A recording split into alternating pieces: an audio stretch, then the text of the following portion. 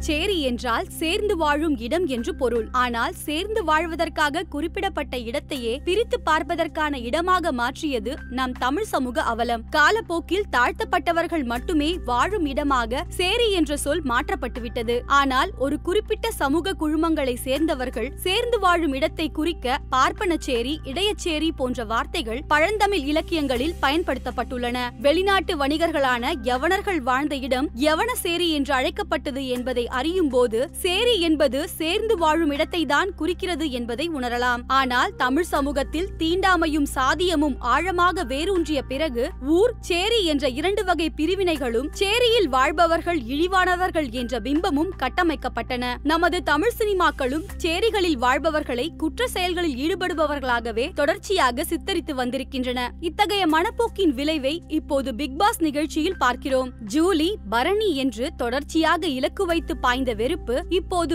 ஓவியா மீது பாய்ந்திருக்கிறது. ஓவியாவை பற்றி காயத்ரி ரகுராமும் ஸ்நேகனும் புறம் பேசும் விளம்பரம் ஒன்று ஒளிபரப்பாகிறது. வெறுப்புடன் வாயை சுளித்தபடி ஓவியா விஷம் என்கிறார் காயத்ரி. தினமும் கேமரா முன்னாடி போய் நடிக்கிறார் ஓவியா என்கிறார் ஸ்நேகன் அடுத்தபடியாக காயத்ரி ரகுராம் சேரி பிஹேவியர் என்று ஓவியாவை குறிப்பிடுவது அதிர்ச்சி அளிக்கிறது. பிக் பாஸ் ஒளிபரப்பப்பட்ட முதல் நாளில் இருந்தே மனித மனத்தின் வக்கிரத்தை கடைவிரிக்கிறது பிக் பாஸ் போட்டியாளர்களில் ஸ்நேகன் கஞ்சா கருப்பு வையாபுரி ஆர்த்தி நமிதா என கணிசமானவர்கள் அதிமுகவை சேர்ந்தவர்கள். காயத்ரி ரகுராம் பாஜகவை சேர்ந்தவர். சென்ற சட்டமன்ற தேர்தலில் மயிலாப்பூர் தொகுதியில் நிற்பதற்காக பாஜகவில் மனு போட்டவர். ஜல்லிக்கட்டு போராட்டத்தில் ஈடுபட்டு அதன் மூலம் புகழ்பெற்ற ஜூலியின் மீதான இவர்களின் வெறுப்பு கட்சி சார்பானதோ என்ற ஐயமும் பார்வையாளர்களுக்கு எழுகிறது. மெரினா ஜல்லிக்கட்டு போராட்டத்தில் எழுப்பப்பட்ட முழக்கங்கள் மோடி சசிகலா அப்போதைய முதல்வர் ஓ பன்னீர்செல்வம் ஆகியோரை கடுமையாக விமர்சித்தது. இந்த வெறுப்பை அவ்வப்போது காயத்ரியும் ஆர்த்தியும் மறைமுகமாக வெளிப்படுத்துகின்றனர். போட்டி ஆரம்பித்த சில நாட்களிலேயே ஜல்லிக்கட்டுக்காக தான் போராட்டம்னா அதுக்காக தானே போராடணும் என்று காயத்ரி ஜூலியிடம் சொன்னதன் அர்த்தம் ஏன் ஆட்சியாளர்களை எதிர்த்து முழக்கமிட்டீர்கள் என்பதுதான். அவங்க கிட்டதானே கேட்கணும் என்று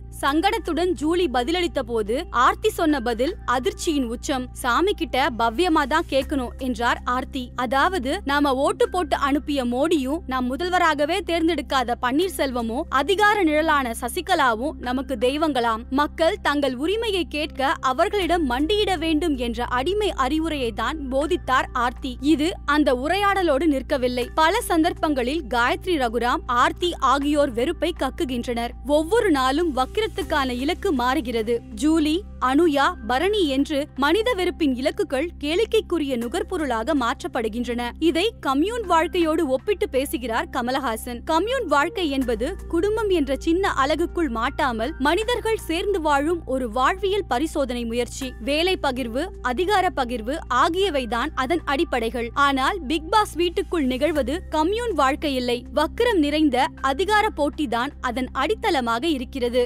பொதுவாக கலையும் கலைஞர்களும் பண்பாட்டு அடையாளங்கள் சமூகத்தின் ரசனையையும் மனநிலையையும் பண்பாட்டு மேன்மையையும் ஓரங்குலமாவது உயர்த்தும் கடமை கொண்டவர்கள் கலைஞர்கள். ஆனால் இந்த கலைஞர்களுக்குள் இவ்வளவு மன அழுக்குகள் இருக்கின்றன என்பதை தமிழ் சமூகம் கவனித்துக் கொண்டுதான் இருக்கிறது. இருக்கட்டும் இந்த நிகழ்ச்சியின் இயல்பே இப்படியாக இருக்கலாம். ஆனால் போகிற போக்கில் சேரி பிஹேவியர் என்ற வார்த்தையை வசையாக வீசிவிட்டு போவதை ஏற்றுக்கொள்ள முடியாது. சில நாட்களுக்கு முன் பரணி குளிக்க போயிருந்த போது கஞ்சா கருப்புவை வீட்டை சுத்தம் செய்ய சொல்லி அனுயாவிடம் சொல்லியிருந்தார். நீ என்ன எனக்கு வேலை சொல்றது? என்று பரணியிடம் கஞ்சா கருப்பு எகிரியதையும் அவரை தாக்க போனதையும் பார்த்தோம். அப்போது கஞ்சா கருப்பு அனுயாவையும் பரணியையும் கெட்ட வார்த்தையில் திட்டுவது பீப் ஓசையுடன் தான் ஒளிபரப்பப்பட்டது. ஆனால் இப்போது காயத்ரி ரகுராம் சொல்லும் சேரி பிஹேவியர் என்ற வார்த்தை எந்த தணிக்கையும் இல்லாமல் ஒளிபரப்பப்படுவது ஏன்? இத்தகைய அதிகார ஆணவ மனநிலை அனைத்து தரப்பாலும் கண்டிக்கப்பட வேண்டிய ஒன்று.